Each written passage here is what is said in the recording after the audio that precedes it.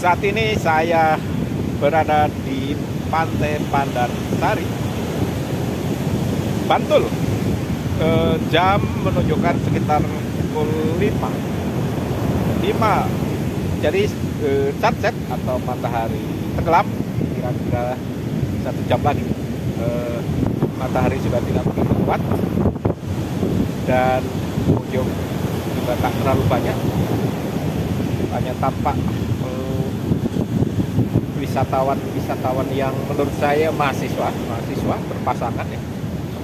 Berpasangan ya. Eh, nah kita akan menunggu. Sunset satu jam lagi. Pantai Pandansari adalah salah satu pantai di Jogja. Eh, selain Tamas buat Cemara lalu ada Parang Tritis lalu kalau ditambah lagi ada Tamas Kukup Baron Parangkusumo. Ditambah lagi misalnya Krakal.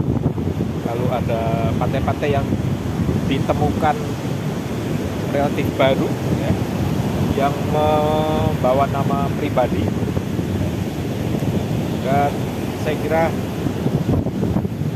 pengelola uh, wisatawan uh, uh, apa namanya pengelola destinasi wisata ini tidak hanya pemerintah daerah tetapi juga desa setempat ya. Desa setempat. Jadi masuknya tadi dari uh, dinas pendapatan daerah lalu parkirnya dari desa setempat.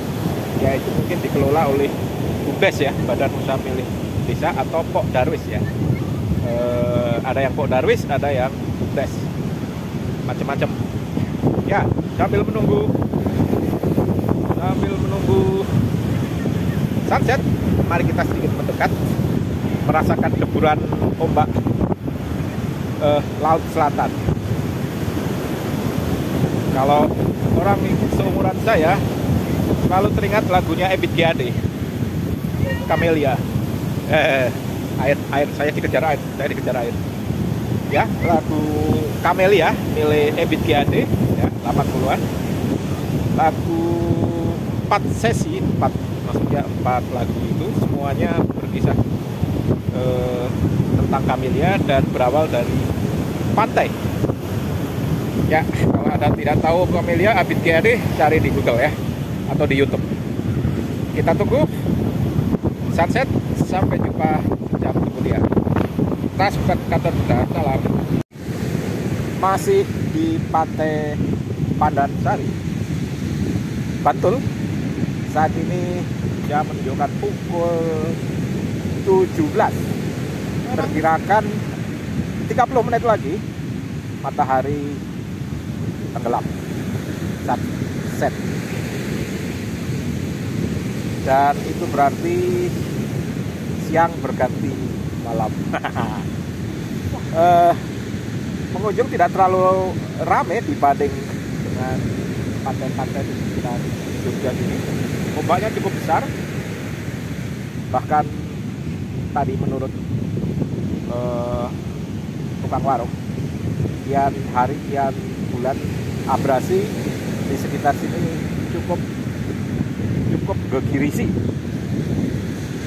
Ya eh, sayang ada apa namanya awan ya yang menggelayut di bawah sehingga pas matahari tenggelam ditelan bumi itu masih ada awan ya.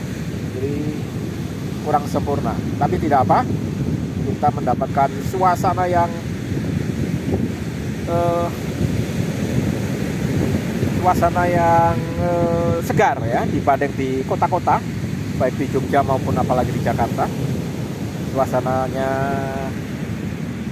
uh, angin sangat sejuk bahkan cenderung dingin ya angin sudah mulai menusuk kulit. Dan sebentar lagi matahari akan tenggelam. 25 menit lagi barangkali eh, semoga teman-teman kalau ingin healing silahkan ke pantai. Dan saya anjurkan kalau pantai di Jogja yang tidak terlalu ramai ya di sini pantai Pandan Sari. Tapi kalau anda mau keriuhan ya di Parangtritis ramai sekali. Ya jadi yang cukup tenang di sini. Oke sampai di ini. Sampai jumpa di pantai Pandan Sari oh mataharinya makin menyala lagi. Kita tunggu sekitar 4 menit lagi. Mungkin lebih ya. Oke sampai jumpa tas bukan kantor berita